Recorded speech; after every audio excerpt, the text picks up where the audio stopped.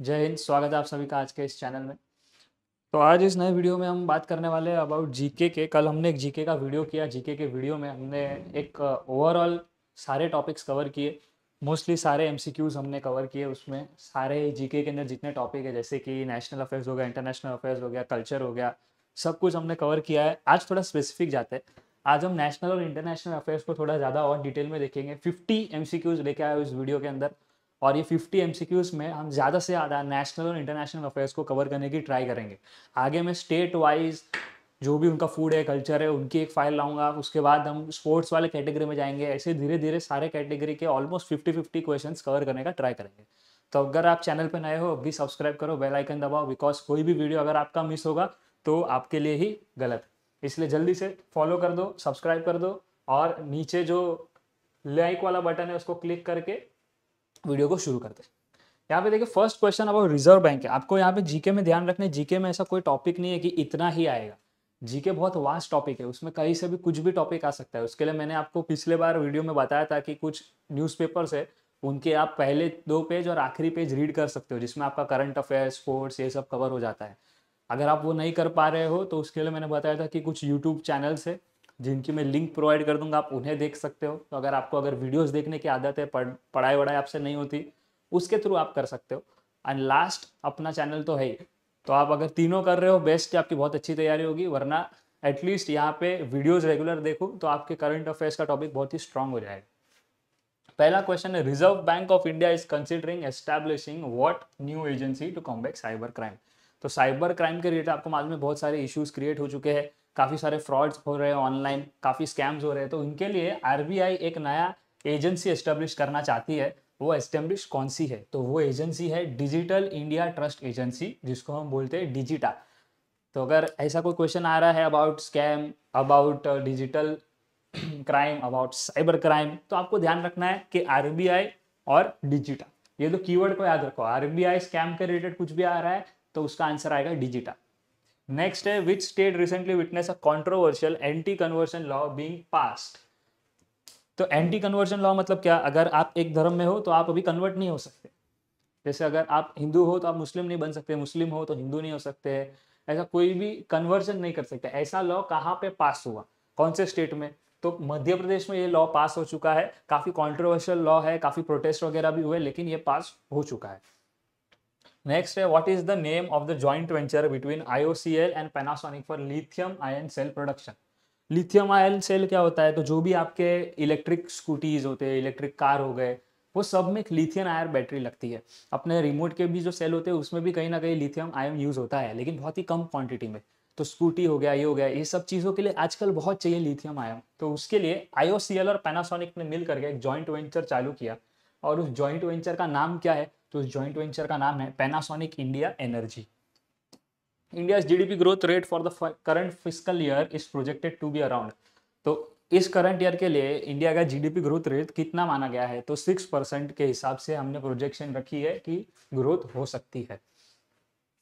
As of April 2024 which Indian company became the most valuable company in the country तो ऐसी कौन सी company 2024 के हिसाब से मोस्ट वैल्यूएबल कंपनी बन चुकी है इंडिया की। तो अपने पास ऑप्शन है Reliance Industry Tata Consultancy Adani and H D F C तो आप सबको पता है अदानी काफ़ी चर्चा में रहे हैं और इसीलिए इसका राइट आंसर है अदा Adani Green Energy six question की तरफ़ जाते हैं।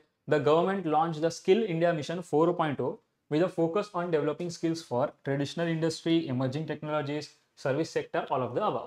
तो स्किल इंडिया मिशन 4.0 जैसा स्किल्स इंडिया का है ना, अलग से पूरी वेबसाइट है गवर्नमेंट की तरफ़ से, जहाँ पे अलग अलग स्किल सिखाई जाती है, जिसके थ्रू आपको जॉब और एम्प्लॉयमेंट मिल सके। और इसमें अलग अलग चरण हुए हैं, जैसा स्किल इंडिया स्किल इंडिया 2.0 3.0 अब 4.0 के अंदर ये पूछ रहा है कि अपना कौन से सेक्टर के तरफ़ गवर्नमेंट का मिशन है? तो एमर्जिंग टेक्नोलॉजीज़ के रिलेटेड गवर्नमेंट स्किल्स सिखाना चाहती है बिकॉज़ आपको पता है, सबको पता है नेक्स्ट जो दौर आ रहा है, वो है आर्टिफिशियल इंटेलिजेंस टेक्नोलॉजीज़ का दौर। तो इस दौर में स्किल इंडिया 4.0 के तहत एमर्जिंग टेक्नोलॉजीज़ को सिखाने पे गवर्नमेंट का ज़्यादा ज़ोर होने वाला है। नेक्स्ट है what is the name of digital currency pilot project recently launch by the Reserve Bank of India तो ऐसा कौन सा प्रोजेक्ट है डिजिटल करेंसी के रिलेटेड जो आरबीआई ने लॉन्च किया है? तो हम सबने पता है क्रिप्टो करेंसी आया था बिटकॉइन आया था, उसके ऊपर टैक्स लगा दिया गया था। फिर गवर्नमेंट ने बोला था आरबीआई ने बोला था कि हम अब एक अपना खुद का डिजिटल करेंसी लाने वाले याद है, अगर आपने थोड़ा भी सोशल मीडिया पे भी अगर आप एक्टिव हो तो ये सारी चीज़ें चर्चा में आई थी।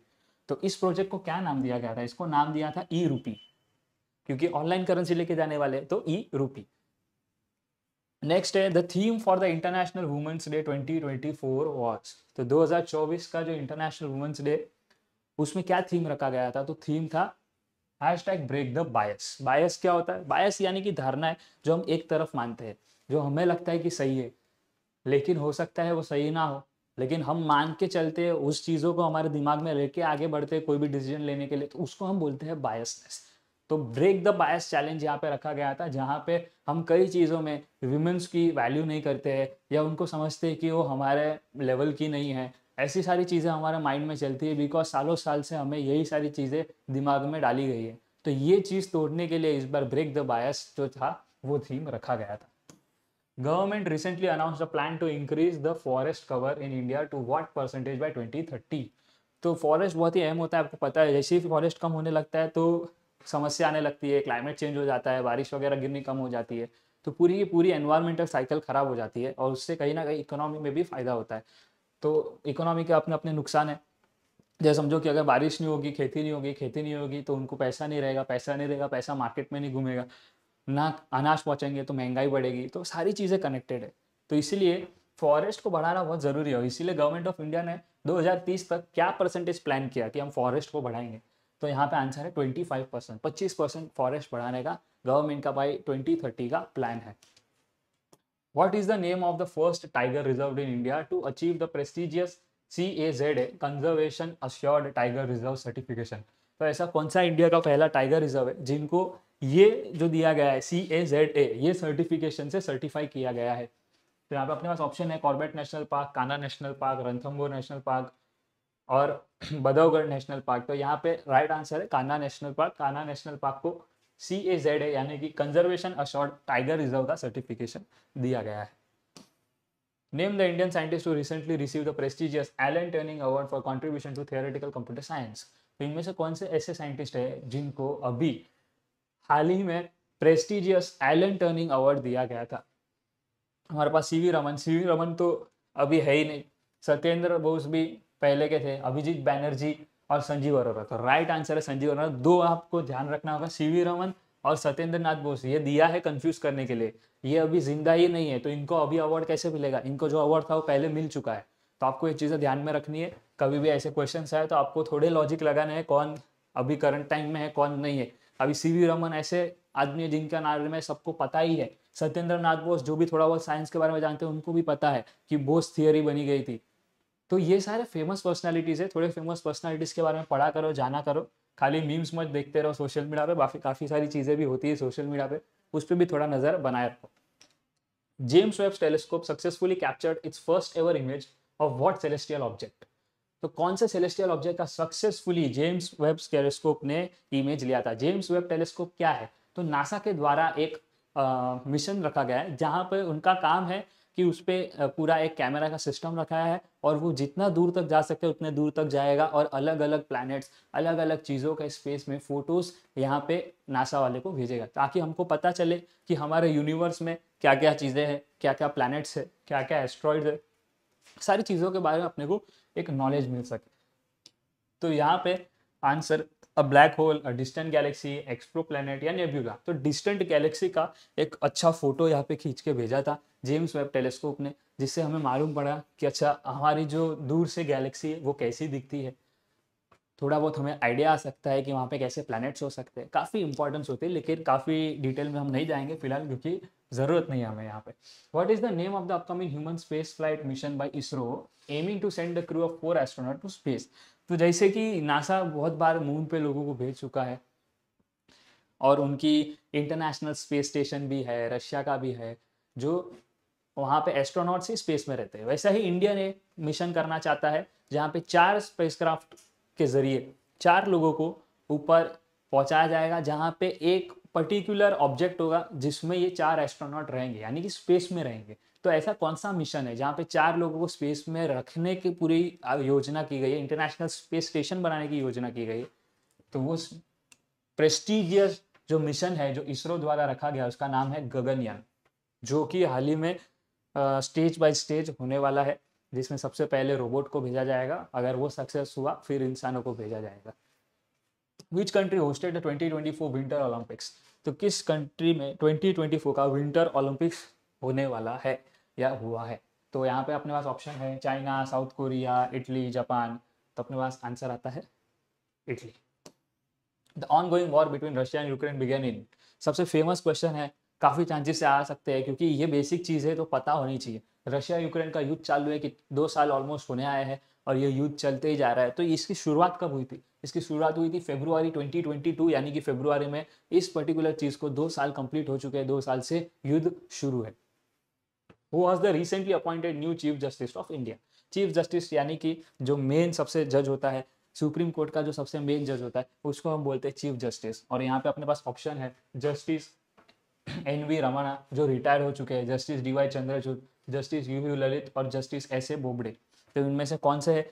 तो अपने पास आंसर है Justice D Y Chandrachud seventeen question the government launch Fit India Mission 2.0 campaign focused on promoting तो फिट इंडिया मिशन ऐसे अलग अलग मिशन निकलते रहते हैं। फिट इंडिया मिशन का पहला मशीन बहुत सक्सेसफुल रहा। अब बारी आई 2.0 की। 2.0 में मेन ये लोग का मिशन है होलिस्टिक हेल्थ एंड वेलनेस यानी कि ओवरऑल हेल्थ और हेल्थनेस पे पूरा का पूरा ध्यान रहे। पूरा का पूरा ध्यान रहे किस पे? कि आपकी हेल्थ कैसी है, आप वेलनेस कैसे कर रहे हो किससे हो सकता है? बहुत सारी एक्टिविटीज़ जैसे योगा हो गया, थोड़े एक्सरसाइजेस हो गए एरोबिक्स हो गया, ये सारी चीज़ों के through overall holistic health and wellness holistic मतलब ऑल राउंड चीज़ों पे ध्यान रखा जाएगा। IMF has projected India's ranking in terms of GDP to be IMF क्या है? इंटरनेशनल मॉनिटरी फंड इनका काम है लोगों को पैसा देना। जिस देश को ज़रूरत है, उनको पैसा बांटते हैं, राहत पैकेज देते हैं।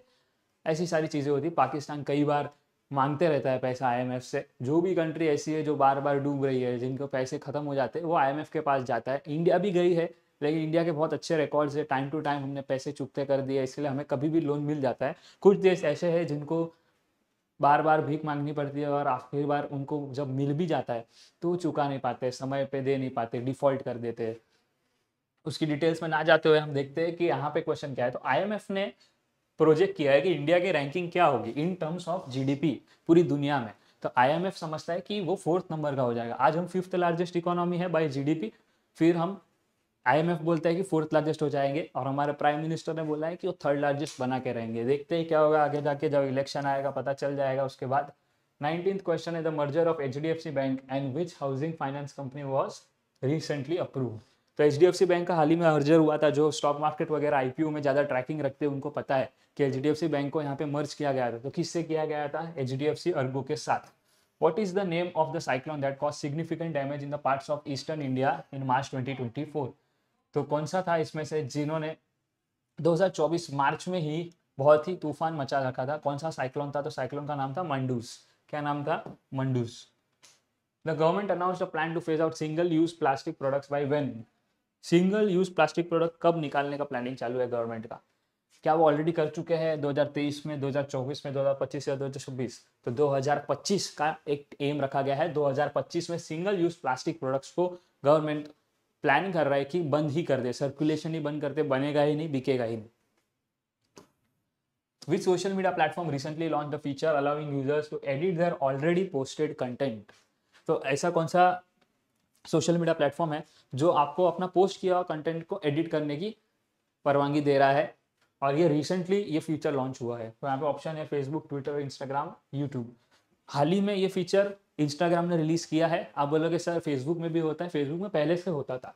यहाँ पे पूछा गया है रिसेंटली तो आपको क्वेश्चन बहुत ध्यान से पढ़ना है। रिसेंटली ऐसा कौन सा प्लेटफॉर्म है? तो इंस्टाग्राम ने रिसेंटली ये फीचर अलाउ किया है एडिट फीचर जहाँ पे हम पोस्ट करने के बाद भी उसे एडिट कर सकते हैं, लोगों को मेंशन कर सकते हैं, चीज़ें वापस एडिट कर सकते हैं कैप्शन वापस लिख सकते हैं, काफ़ी कुछ। The first ever successful demonstration of nuclear fusion was achieved by the scientist in which country सबसे पहला न्यूक्लियर फ्यूजन न्यूक्लियर फ्यूजन क्या होता है? न्यूक्लियर फ्यूजन से जब आइटॉमिक बॉम्ब, न्यूक्लियर बॉम्ब वगैरह बनाते हैं तो उसमें न्यूक्लियर फ्यूजन की प्रक्रिया यूज़ की जाती है। उसको डिटेल में यहाँ पे ना समझाते हो क्योंकि ये साइंस का क्लास नहीं है। आप उसके बारे में यूट्यूब पे सर्च कर सकते हो। आपको प्यारा एनिमेशन के साथ पूरा वीडियो मिलेगा, अगर आप इंटरेस्टेड हो इस समझने में। तो सबसे पहले कौन से देश में इसकी खोज की गई थी? तो चाइना था, वो देश जिसने सक्सेसफुली न्यूक्लियर फ्यूजन सबको करके बता दिया था कि देखो इस तरीके से होता है। Who is the current secretary general of United Nation ये हमने कल भी किया था क्वेश्चन एंटीरियो ग्यूटरेस दो बार रिपीट हो चुका है तो आप थोड़ा इंपॉर्टेंट समझिए, शायद हो सकता है पेपर में भी आ जाए. तो यूएन जनरल सेक्रेटरी कौन है? Antonio Guterres The fifth female prime minister of the Democratic Republic of Congo was recently elected, and who is? पांचवी prime minister of Democratic Republic of Congo Democratic Republic of Congo कहाँ है? Africa के अंदर. Africa में यहाँ पे पांचवी female prime minister बनी है। कौन है वो? तो वो है डेनिस नाकेरू शीसे कीड़ी अब यहाँ पे हो सकता है प्रोनाउंसिएशन का इशू हुआ हो। कुछ अलग तरीके से भी प्रोनाउंस कर सकते हैं लेकिन मैटर अपने को ये करता है आंसर क्या है? बिकॉज़ एमसीक्यू टाइप क्वेश्चन है। अपने को राइट right आंसर को खाली सिलेक्ट करना है। प्रोनाउंसिएशन पे ज़्यादा फोकस नहीं करना है। The government launched the new initiative named DAC, Defense Acquisition Council, which aims to promote domestic defense manufacturing. सीधा सीधा चीज़ है। डीएसी के अंदर क्या कर रहे हैं? तो हम डोमेस्टिक डिफेंस मैन्युफैक्चरिंग को प्रोड्यूस कर रहे हैं। क्या होता था? पहले के ज़माने में हम सारे ही वेपन्स बाहर देश से लाके अपने पास रहते थे। उसमें काफ़ी पैसा हमको देना पड़ता था और कभी कभी हो सकता था कि डिले होता था। यानी कि अगर युद्ध की स्थिति हो जाए तो हमारे पास ज़्यादा चीज़ें होती नहीं थी। हम दूसरे देश पर डिपेंडेंट होते थे और वो अगर हमें टाइम पे हमारे वेपन्स नहीं देते थे तो कहीं ना कहीं इश्यूज़ हो जाते थे। तो अब हम डीएसी के तहत चाहते हैं कि सारे वेपन्स इंडिया में बने, ताकि हमें किस देश पे निर्भर ना रहना पड़े, हमारा पैसा देश में ही रहे, और इससे काफ़ी फ़ायदे हो सकते हैं। हम एक्सपोर्ट भी करना शुरू कर सकते हैं, और हाल ही में हमने हाईएस्ट रिकॉर्ड मार्क किया है ऑल टाइम हाई एक्सपोर्ट किया है डिफेंस प्रोडक्ट्स काफ़ी देशों को हमने हमारे डिफेंस मिसाइल्स वगैरह दिए हैं। Which state recently conducted first ever virtual assembly तो ऐसी कौन सी स्टेट है जिसने सबसे पहले ऑनलाइन असेंबली रखी? सारे लोग, सारे एमपी सारे विधायक अपने घर पे बैठे थे, और फिर उसके थ्रू यहाँ पे कॉन्फ्रेंस हुई थी। तो ऐसा कौन सा स्टेट रहा? तो स्टेट है Karnataka. The government announce plan to increase the minimum support price for which agriculture product by the highest percentage तो मिनिमम सपोर्ट प्राइस क्या होता है? मिनिमम सपोर्ट प्राइस यानी कि उस प्राइस में गवर्नमेंट फार्मर से चीज़ें खरीद लेता है। वो चाहता है कि फार्मर को एक मिनिमम प्राइस मिल जाए और वो उस प्राइस पे गवर्नमेंट को बेच दे। गवर्नमेंट फिर उसे आगे बेचता है। राशन की दुकानों में वगैरह डिस्ट्रीब्यूट करवाता है। तो उसको बोलते हैं मिनिमम सपोर्ट प्राइस तो सबसे ज़्यादा परसेंटेज किसको दिया गया था? सबसे ज़्यादा परसेंटेज दिया है पल्सिस को। पल्सिस को क्यों? बिकॉज़ आप देख रहे हैं पीएम मोदी भी जगह जगह जा रहे हैं पल्सिस को प्रमोट कर रहे हैं। यूएस गए थे यूएस में मेन्यू में सारी चीज़ें पल्सिस के रिलेटेड रखी थी। इंडिया में जाते, मन की बात में कई बार पल्सिस के बारे में बोल देते हैं। मिलेट्स पे ज़्यादा फोकस करते हैं मिलेट्स उनको ज़्यादा पसंद है। तो ये सारी चीज़ें वो प्लान कर रहे हैं, इसलिए उनको ज़्यादा बेनिफिट दिया गया है। One of the largest I P O in twenty twenty four was by which Indian company कौन सी कंपनी का आईपीओ सबसे बड़ा निकला था 2024 में? तो वो था electric vehicle startup Ather Energy Ather के आपने देखे? इलेक्ट्रिक स्कूटर्स वगैरह है ओला के कंपटीशन में। तो एथर कंपनी का ही आईपीओ 2024 में सबसे लार्जेस्ट आईपीओ था। The theme for World Wildlife Day 2024 was तो यहाँ पे 2024 में वर्ल्ड वाइल्ड लाइफ डे का थीम क्या रखा गया था? Forest and livelihood sustaining people and planet कैसे हम प्लानट को सारे ही जो भी ह्यूमन बींग्स और एनिमल सब साथ में सस्टेनेबली कैसे आगे बढ़ सकते हैं? ये थी थीम वाइल्ड लाइफ डे की। India recently sign Kigali amendment to phase out use of which harmful greenhouse gas तो हमने कीगाली अमेंडमेंट किया गया है साइन किया है, और उसमें हम कौन से ग्रीन हाउस गैस को निकालना चाहते हैं धीरे धीरे बंद करना चाहते हैं? तो वो है हाइड्रोफ्लोरोकार्बन एच एफ़ सी अब ये क्या होते हैं? तो हमारे रेफ्रिजरेटर्स में ये यूज़ होते हैं। हमारे रेफ्रिजरेटर्स और काफ़ी सारे ऐसे अप्लाइंसेस हैं जिसमें ये यूज़ होता है। तो हमने ये अमेंडमेंट साइन कर लिया है और हम धीरे धीरे फेस्ड मैनर में ये जो पर्टिकुलर गैस है, इसका चलन कम करने वाले हैं दूसरे टेक्नोलॉजीज़ का इस्तेमाल करके। First ever image of the black hole was captured by which telescope in 2019 तो ब्लैक होल का फ़ोटो पहली बार 2019 में कौन से टेलीस्कोप से देखा गया था? तो इवेंट होराइजन टेलीस्कोप है, उसमें से ब्लैक होल को बहुत ही क्लियरली देखा गया था। और वो जो फ़ोटो थी वो बहुत ही वायरल हुई थी। सोशल मीडिया पे हर जगह आपको देखने आप अगर आज भी टाइप करते हो अभी आ, कि ब्लैक होल फ़ोटो तो जो लेटेस्ट फ़ोटो आएगा वो इवेंट होराइजोन के थ्रू ही देखा गया है। First ever image of black hole वाला हमारा क्वेश्चन हो चुका है। Which country successfully launch its first ever reusable spacecraft in 2024 reusable यानी कि क्या? जो जाता है मिशन करके आता है वहाँ पे लैंड होता है और फिर से वहाँ से उड़ के वापस अर्थ पे आ जाता है। इसको बोलते हैं रीयूजेबल मतलब एक ही रॉकेट को हम बार बार यूज़ कर सकते हैं फ्यूल भर भर के। आज हम जैसे कोई एक टू व्हीलर चलाते टू व्हीलर चलाते वक्त अपन क्या करते पेट्रोल खत्म हो गया, पेट्रोल भराते फिर शुरू गाड़ी। सेम चीज़ हो जाएगी स्पेस क्राफ्ट जाएगा यहाँ से जहाँ आप भेज रहे हो, वहाँ पे लैंड करके, अपना मिशन विशन खत्म करके वापस अर्थ पे खुद आ जाएगा। तो ये चीज़ 2024 में यूएस में स्पेस में की गई थी। स्पेस का जो स्टारशिप था, जो इलॉन मस्क की कंपनी है, उन्होंने फ़र्स्ट टाइम ये एक्सपेरिमेंट किया सक्सेसफुल रहा। और पहला रीयूजेबल स्पेसक्राफ्ट की शुरुआत कर दी। Ongoing conflict between Israel and Palestine primarily centers around the disputed territory of तो जो अभी हाल ही में और एक वॉर चल रही है, जो है किसके बीच में? पैलेस्टीन और इसराइल के बीच में। वो किस एरिया के रिलेटेड चल रही है? क्या एरिया ऐसा है जो डिस्प्यूटेड है? तो वो है गाजा स्ट्रिप या गाजा पट्टी, हम हिंदी में बोलते ये एरिया के रिलेटेड ही ये पूरा वॉर चालू है। तो यहाँ पे कोई और भी आई देखो वेस्ट बैंक ये सारे एरिया पैलेस्टीन के ही है, लेकिन मेन जो एरिया है वो है Gaza Strip the government launch a new national education policy with focus on NEP launch किया गया था क्यों लॉन्च किया गया था, उसका मेन रीजन क्या था? मेन रीजन था कि देखो, कई बार क्या होता है कि हम प्रेशर में आके कोई सब्जेक्ट ले लेते हैं, हम साइंस ले लेते हैं, हम कॉमर्स ले लेते हैं, लेकिन हमें दोनों में इंटरेस्ट रहता है। कुछ सब्जेक्ट पसंद है साइंस के, कुछ पसंद है कॉमर्स के।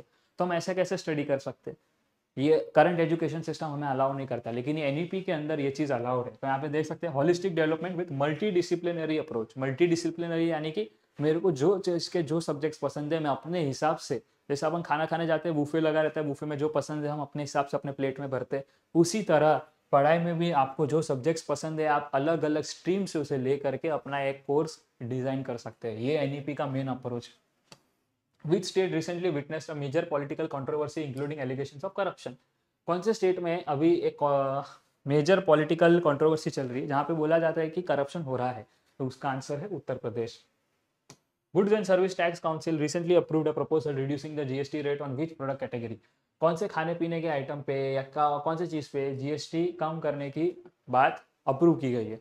तो ऑप्शन में बस luxury car electronics essential food items jewellery तो फाइनल आंसर रहेगा essential food items essential food items पे टैक्स कम करने की बातचीत की गई है। Reserve Bank of India recently hike the repo rate by what percent point क्या परसेंट से रेपो रेट को बढ़ाया गया है? तो ज़ीरो पॉइंट फाइव परसेंट से रेपो रेट को इंक्रीज किया। रेपो रेट क्या है? इसका भी आपको अच्छे एनिमेशन में यूट्यूब पे वीडियो मिल जाएँगे। अगर आप इंटरेस्टेड हो, देख सकते हो, वरना फ़िलहाल के लिए इस एग्ज़ाम के लिए ज़रूरत नहीं है। Hashtag Me Too movement gained renewed attention in India due to allegations against which prominent personality. अब Me Too movement क्या होता है? Me Too movement के अंदर आपको जिस किसी ने भी परेशान किया था तो उसके लिए हर जगह जिस जिस लोगों को ऐसा लगा था कि मेरे साथ भी ये चीज़ हुआ, मेरे साथ भी ये चीज़ हुआ है तो लोगों ने हैश टैग मी टू करके उस कैंपेन को चलाया था। तो वो किन लोगों के वजह से, किस पे एलिगेशन लगाए गए थे? तो यहाँ पे ऑप्शन है Bollywood actor sports person politician religious leader politician का मेन पर्सनैलिटी था जिसमें मी टू मूवमेंट लग रहा था जहाँ पे पॉलिटिशियन ने पैसे खाए हैं हरास किया है परेशान किया है ये सारी चीज़ें की है तो सब अपनी एक्सपीरियंसेस शेयर कर रहे थे using the hashtag me too India is signatory to which international convention on the rights of person with disabilities तो ऐसे कौन से इंटरनेशनल uh, कन्वेंशन का इंडिया को सिग्नेटरी रखा है? सिग्नेटरी यानी इनके साइन के बगैर चीज़ें आगे नहीं बढ़ेगी।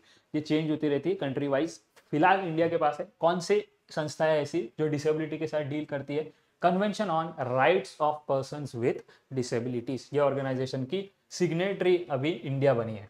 With social media platform recently announce a ban on all political advertising कौन सा ऐसा सोशल मीडिया प्लेटफॉर्म है जहाँ पे पॉलिटिकल एडवर्टाइजिंग पे बैन लगा दी गई है? तो हमारा आंसर है यहाँ पर फेसबुक फेसबुक पे आप फ़िलहाल कोई भी इलेक्शन के रिलेटेड पॉलिटिकल रिलेटेड कैंपेन वगैरह नहीं चला सकते। कोई एड्स आपको देखने को नहीं मिलेंगे। The concept of metaverse refers to metaverse क्या होता है? तो एआई के ज़माने में मेटावर्स का बहुत वर्ड यूज़ होता है। मेटावर्स मेटावर्स ये है क्या? तो मेटावर्स यानी कि कोई भी ऐसी चीज़ जो फ़िलहाल में अपने सामने है नहीं, लेकिन वर्चुअली है। वर्चुअली पूरी एक दुनिया बनाना वर्चुअली गेम आपने देखा रहेगा वी आर सेट पेन के लोग गेम्स खेलते हैं। अभी एप्पल का विजन प्रो निकला था, यहाँ पे आप आँख पे पहनते हो और आपको सारी चीज़ें उसके ज़रिए दिखती है। आप पूरा एक कंप्यूटर सिस्टम पूरी की पूरी चीज़ सामने अपने देख सकते हो यूजिंग विजन प्रो तो ये क्या है? ये एग्ज़ाम्पल है मेटावर्स का virtual reality world with focus on interaction सारी चीज़ें वर्चुअल आप घर पे बैठे हो, लेकिन आपको मन कर रहा है कि आप कहीं घूमने चले जाओ तो आपने वो विजन प्रो पहन लिया और आप बैठे हो और आपको ऐसा एक्सपीरियंस हो रहा है कि आप उस जगह पे पहुँच गए हो। लेकिन असलियत में आप कहाँ बैठे हो? आप घर पे ही बैठे हो। इसी चीज़ को हमें डिस्क्राइब करते हैं as metaverse government launch new initiative name Khelo India with focus on promoting Khelo India क्यों लॉन्च किया गया? Khelo India grass root level पे स्पोर्ट्स को बढ़ावा देने के लिए प्रमोट किया गया है। इससे क्या होगा कि काफ़ी सारे एथलीट्स हमें मिलेंगे जो आगे जाके देश को ओलंपिक्स या फिर अलग अलग वर्ल्ड लेवल के जो भी गेम्स होते हैं, वहाँ पे रिप्रेजेंट करके हमारे देश का नाम रोशन कर सके। तो यहाँ पे हमारा ऑप्शन रहेगा grass root level sports development in India which state assembly recently pass the bill reserving a certain percentage of seats for women in local body election कौन सी ऐसी स्टेट असेंबली है जिसने अभी बिल पास किया है जहाँ पे महिलाओं को कुछ सीट रिज़र्व की गई है? तो यहाँ पे हमारा ऑप्शन है तेलंगाना। तेलंगाना स्टेट के अंदर लोकल बॉडी में वुमन के लिए रिजर्वेशन की गई है। India recently signed of free trade agreement with which country to boost a bilateral trade कौन से कंट्री के साथ हमने फ्री ट्रेड अग्रीमेंट अभी हाल ही में साइन किया है? जिससे हमारे उस, देश में ट्रेडिंग रिलेशन बहुत अच्छे हो जाए। फ्री ट्रेड अग्रीमेंट में क्या होता है कि कोई भी कस्टम ड्यूटीज़ वगैरह नहीं होती हम टैक्सेस हटा देते हैं ताकि वो देश में जो सामान बिक रहा है वही भाव में हमारे देश में बिक जाए। तो हमने हाल ही में कनाडा के साथ फ्री ट्रेड अग्रीमेंट साइन किया है। ऑस्ट्रेलिया यूए यूके के साथ हम ऑलरेडी कर चुके हैं। कनाडा के साथ हमारे कुछ संबंध बीच में अभी अच्छे नहीं रहे थे लेकिन फिर भी एफटीए हमने साइन कर लिया है। Launch of five G network is expected to have a significant impact on growth of which emerging technology तो 5G नेटवर्क से किस पर्टिकुलर टेक्नोलॉजी में और फ़ायदा हो सकता है? तो आप ऑप्शन है, देखो अपने इसमें ब्लॉकचेन है आईओटी है आर्टिफिशियल इंटेलिजेंस या ऑल ऑफ़ अबाउ तो आईओटी और आर्टिफिशियल इंटेलिजेंस में बहुत फ़र्क है। आईओटी क्या होता है? सेंसर्स वगैरह यूज़ किए जाते हैं। जैसे कि हम एसी में जहाँ पे देखते हम रिमोट से उसको ऑपरेट कर रहे तो रिमोट और एसी के बीच में सेंसर्स काम आते हैं, जो सिग्नल्स दे रहे हैं कि टेम्परेचर बढ़ाने बोल रहा है टेम्परेचर कम करने बोल रहा है। कई बार हमारा फ़ोन में आगे आई ब्लास्टर होता है। आई ब्लास्टर क्या करता है? फ़ोन को रिमोट में बना देता है। एमआई के फोन्स में पहले आई ब्लास्टर बहुत आते थे, जिसके थ्रू हम फ़ोन से ही सारे चीज़ का रिमोट बना सकते जैसे टीवी का रिमोट एसी का रिमोट फ़ोन से ही कन्वर्ट कर सकते थे। तो ये क्या है? सेंसर्स है, ऐसे काफ़ी सेंसर्स होते हैं अलग अलग इंडस्ट्री में, जैसे गाड़ियों में हो गया ऑटोमोबाइल इंडस्ट्री पूरी एज अ होल में हो गया। स्पोर्ट्स में यूज़ की जाती है सेंसर देखने के लिए कि क्या एंगल पे बैट्समैन खड़ा है तो उसे डिसमिसल ज़्यादा हो रहा है। क्या एंगल पे बॉलिंग करनी चाहिए जिससे सामने वाला ज़्यादा आउट हो रहा है? क्या एंगल पे शॉट्स उठाने चाहिए जिससे सिक्स जाने के चांसेस बढ़ जाते हैं? ये सारी चीज़ें सेंसर से ट्रैक होती है और ये सब टेक्नोलॉजीज़ आई के अंदर आती है।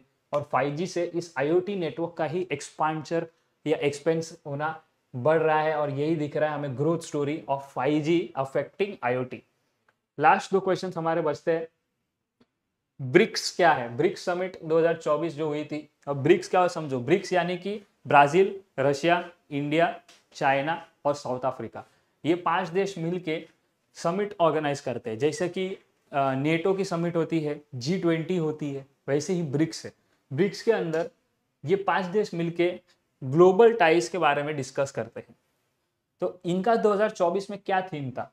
थीम था global economic recovery post pandemic आपने देखा कोविड के टाइम में सारे ही मार्केट्स क्रैश कर गए थे, सब कुछ बंद हो गया था, सारे बिजनेसेस खत्म हो गए थे तो सब देश को एक नुकसान हुआ है। उस नुकसान से कैसे उभरना है? कैसे हम चीज़ों को आगे लेके जा सकते हैं? कैसे ये पाँच देश मिलके आपस में एक दूसरे की मदद कर सकते हैं? ये थीम रखी गई थी 2024 में जब समिट हुई थी BRICS. Recent archaeological discovery in Egypt, unearthed a well-preserved tomb believed to belong to which pharaoh? pharaoh क्या होता है? तो पुराने ज़माने में जो राजा होते थे, राजा को फेरोस बोला जाता था। इन फेरो की टूम बनाई जाती टूम यानी कि क्या? उनको दफन कर दिया जाता था, उसके ऊपर पिरामिड बनाई जाती थी। जब आर्कियोलॉजिकल सर्वे हुआ इजिप्ट के अंदर, यानी कि खोजबीन हुई, तब एक नया फेरो मिला और उस फेरो का नाम क्या था? तो क्या वो तुतन खामुन था, रामसेस टू था, क्लियोपाट्रा थी, या फिर पता ही नहीं, अब तक आइडेंटिफाई नहीं है। तो उसका आंसर है the pharaoh is yet to be identified. अब तक उसका पता नहीं चला है कि वो फैरो का नाम क्या था। टूटन खामिन या रामसेस या क्लियोपैट्रा के बारे में हमारे पास थोड़ा बहुत सबूत है और वो उस लोकेशन पे नहीं है। लेकिन फ़िलहाल ये जो हमें मिला है, उस पर हमें कोई भी जानकारी नहीं है। लास्ट क्वेश्चन है इस पीडीएफ का। The International Olympic Committee recently voted to include which new sport in 2028 summer Olympics? पहला ऑप्शन है अपना सर्फिंग, ब्रेक डांसिंग और क्रिकेट। तो 2028 में किस स्पोर्ट्स को रखने की बात की जा रही है? ब्रेक डांसिंग ऐसा स्पोर्ट है जिसके बारे में बात की जा रही है। हो सकता है क्रिकेट भी इंक्लूड हो जाए क्योंकि ये जो होने वाला है, ये यूएसए में होने वाला है लास्ट वीक लॉस एंजल्स के अंदर 2028 समर ओलंपिक्स होने वाले हैं 2024 में पेरिस में हो रहे हैं तो उसमें क्रिकेट की बात की जा रही है। ये जो टी ट्वेंटी वर्ल्ड कप भी होने वाला है, इसके बाद शायद इस पर बातचीत की जाएगी कि क्रिकेट को इंक्लूड करे या ना करे, लेकिन ब्रेक डांसिंग को मिल चुका है अप्रूवल और वो as a sport twenty twenty Olympics में अपने को देखने को मिलेगा। तो यहाँ होते हैं हमारे पचास जनरल नॉलेज एंड अवेयरनेस के क्वेश्चन खत्म, जिसमें हमने नेशनल इंटरनेशनल अफेयर्स को थोड़ा टच कर लिया है और इसी में थोड़ा स्पोर्ट्स का भी कंटेक्स हमने ले लिया है। लेकिन स्पोर्ट्स का अलग से पीडीएफ आने वाले लेक्चर्स में आएगा। तो आपको चैनल को सब्सक्राइब करके रखना है। डिस्क्रिप्शन में आपको दी है टेलीग्राम लिंक टेलीग्राम लिंक को क्लिक करो। वहाँ पे लेक्चर्स खत्म होने के तुरंत बाद आपको पीडीएफ्स मिल जाते हैं, जिसके थ्रू आप अपने पास उस पीडीएफ को रख के चीज़ों को प्रैक्टिस कर सकते हो। देखो, जेके के अंदर बहुत सारी चीज़ें हैं। आप सब चीज़ें रट्टा नहीं मार सकते, याद नहीं कर सकते। तो आपको इसको अप्रोच कैसे करना है? बार बार बार बार रीड करो। ये सारे फैक्ट्स आप बार बार जितनी बार रीड करोगे ना, कहीं ना कहीं सबकॉन्शियसली आपको चीज़ें याद होनी शुरू हो जाएगी। और जब भी ये क्वेश्चन आएगा तो आपको ऐसा कुछ याद आएगा कि हाँ यार, ये पढ़ा हुआ था। इसका ये आंसर होगा। इसलिए बार बार रीड करने के लिए पीडीएफ होना ज़रूरी है और ये पीडीएफ आपको मिलेगा डिस्क्रिप्शन में। लिंक गिवन है, जाइए, जल्दी से ज्वाइन कीजिए हमारा टेलीग्राम चैनल वहाँ पे आपको इसकी पीडीएफ अवेलेबल की जाएगी। मिलते हैं अगले वीडियो में, तब तक के लिए keep practising and keep working hard